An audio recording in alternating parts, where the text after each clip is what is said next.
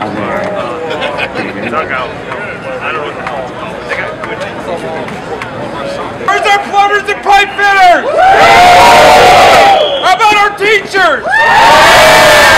How about firefighters?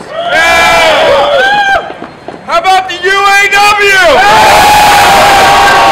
We're from the Michigan Peace Team, and we're here uh, to, to use nonviolent skills to keep the peace. Uh, we've been invited by uh, organizers, and um, we have a, a, a, wonderful team here, and it's really um, an honor for us to be able to be here and to have a peaceful present, uh, protest here.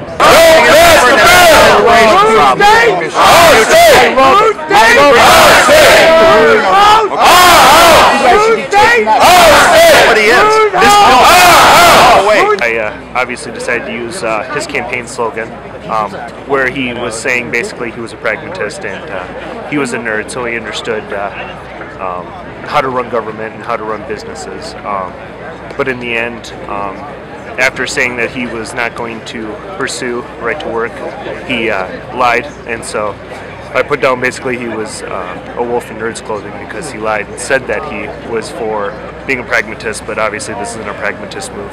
If you want to stay in the union,